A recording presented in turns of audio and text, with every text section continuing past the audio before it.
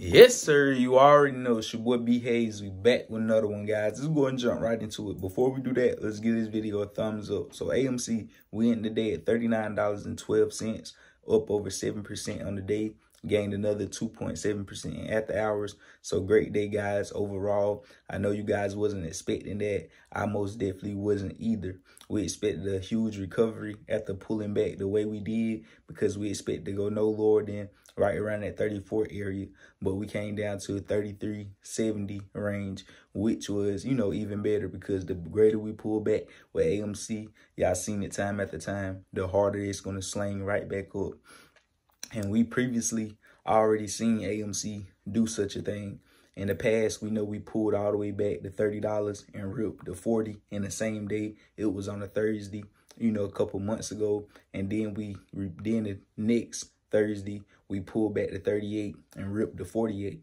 And now, you know, we pulled all the way back down to $33 and ripped back to 41.50 plus during the day, guys. So that was a great recovery for AMC. Now people thinking it's a bull trap. Is it a fake run up? Is it is it going to sustain? And guys, you know, this what we projected for this week. We expect to go no lower than 35. We know market makers can easily bring us down to around that 34 territory, but we actually went to 33. So we did have that huge reversal. As a buying pressure came in just as we expected it would, and we got a amazing run up, even way greater than we expected.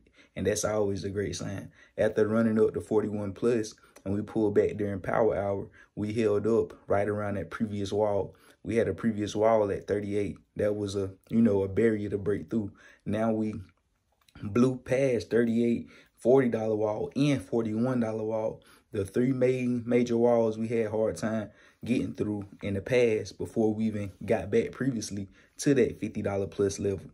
That's what the our problem was. And now after we pulled back like that, everybody was down and out, feeling bad about it. And we broke through all three major walls that we just had a hard time getting through all in one day. And then when we pulled back, we held up at that major wall, right around that $38 level. We dipped just there, coming down to 37, 70s, but we end up closing above that 38, even at 39. So guys, I don't believe this is a bull trap.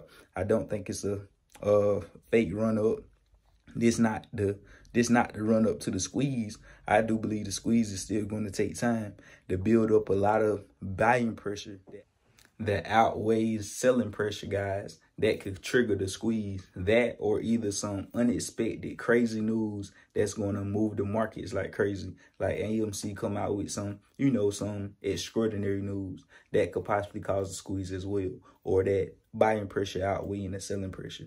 So we most definitely getting that build up. We just been in a big consolidation period. If you just zoom out all these little this little price movement 10 bucks 15 bucks 20 bucks in the grand scheme of things that's really not even a real movement. But i understand the psychology of the market. I see why people would have fear and anxiety. And you know so you already know just stay on your toes guys. We didn't came this far. We got even longer way to go. So that's all I really got for this video. Consider joining the family. If you if that button ain't red, if you're watching this video right now and that subscriber button ain't red, hey, I ain't even got nothing bad to say about you. I love you. But go ahead and get right, man. Go ahead and get right with your boy. We on the road to 30K. I ain't asked y'all for not one subscriber on this whole road.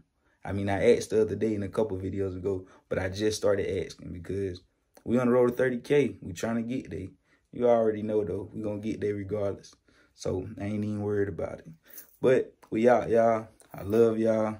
You already know, add your boy on Instagram. Get your free stock in the description. I love y'all. Out. God bless.